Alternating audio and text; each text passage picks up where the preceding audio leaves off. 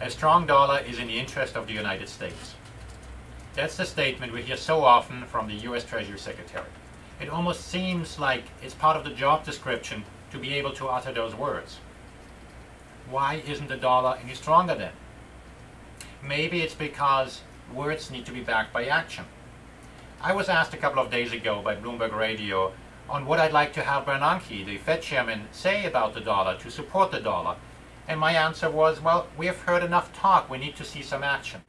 In particular, let's have a look what the actions have been and why I believe we need to have actions that actually support a strong dollar, unlike just uttering the words.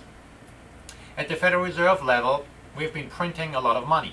When you produce more gadgets, the price of those gadgets is lower. You increase the supply. Well, if that gadget is currency, if it's the US dollar, if we print more US dollars, the value of these dollars is lower. If you want a stronger dollar, well, print less money. Or even do the opposite, mop up the liquidity, destroy some of that liquidity that you have created. That doesn't seem to be the interest in the interest of the Federal Reserve. It goes beyond that, though. When the government, the Federal Reserve in particular, starts buying government bonds, mortgage-backed securities, these securities are now intentionally overvalued. So why would a rational investor, be that foreign or domestic, buy those securities? The Fed's actions actively drive down the value of the US dollar. Taking it a step further, why not just allow market prices to govern what the price should be of government bonds, of mortgage-backed securities? Indeed, if that were allowed to happen, interest rates may go up, home prices may come down, but consumers would be forced to save more, and as a result, the dollar might just strengthen. That would be a strong dollar policy. Or even in isolation. If interest rates were a little higher, not near zero, then that may support the dollar. It is very difficult to argue that a near zero policy is fostering a strong dollar.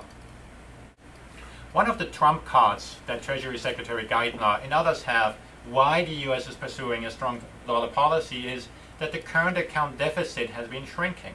Indeed, over the past year, the current account deficit has come down from some very, in our view, extreme levels. Well, the reason the current account deficit, however, has gone down is not because of policies that foster savings and investments, but because imports have been declining rather rapidly because of deteriorating economy. The current account deficit is exactly the amount foreigners need to buy in US dollar denominated assets to keep the currency from falling. Currently about $2 billion every single business day. And that is part of the reason why the Federal Reserve is pushing for so much growth. An economy that is growing is more likely to attract money from abroad.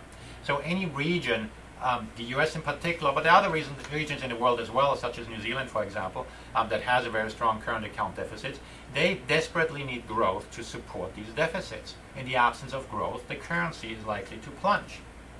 In contrast, if you look at the Eurozone or Japan, they don't need to finance their deficits from abroad. The economies there are reasonably in balance, so a weaker economy does not automatically uh, mean a weaker um, currency.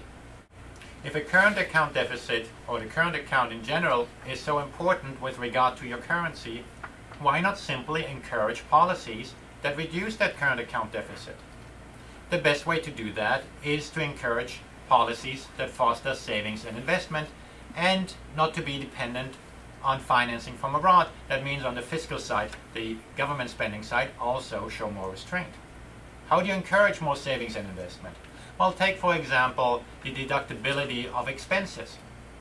In most corporations, expenses cannot be expensed the first year round, but have to be amortized over years, if not decades.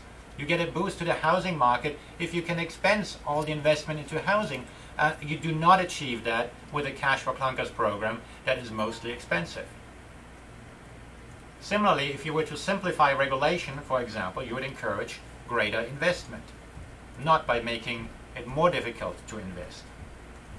On the fiscal side, if we were spending less money, that may also be a positive for the dollar. Now, the absolute level of government debt is very difficult to correlate to the price of currencies. That's because government debt is a balance sheet item, whereas prices are set by supply and demand. That's a cash flow item. Having said that, the interest cost to finance the deficits does factor in into the value of a currency. Incidentally, the US government has been running the equivalent of an adjustable rate mortgage, financing a great chunk of its debt with very short term borrowing. In recent weeks, the Treasury has embarked on a project to try to lengthen that duration. Now, some good may come out of it because that may drive up the cost of borrowing and as a result may encourage more savings and investment. But right now, the, the main encouragement to invest in the US seems to be the weaker currency. Because prices have plunged so far when denominated in foreign currency, the US seems to be a more attractive place to invest. That can barely be a sustainable policy. As far as the fiscal spending is concerned, we bicker about, about the policies from the left and the right, and some of us hope that in the midterm election we might get gridlock in Congress so there will be less spending. But note that may only affect the discretionary spending part. The real issues, entitlement payments, are unlikely to be resolved anytime soon. The ultimate strong currency you might get by moving to a gold standard or a modern variation thereof. When you take away the power to inflate your way out of every single problem, which seems to be the course of least resistance uh, with any government. We manage the Merk Hard and Asian Currency Fund as well as the Absolute Return Currency Fund. Please visit our website to learn more about them. Subscribe to our newsletter, and uh, I look forward to seeing you again soon on one of these videos. I'm Axel Merk, the portfolio manager of the Merk Mutual Funds.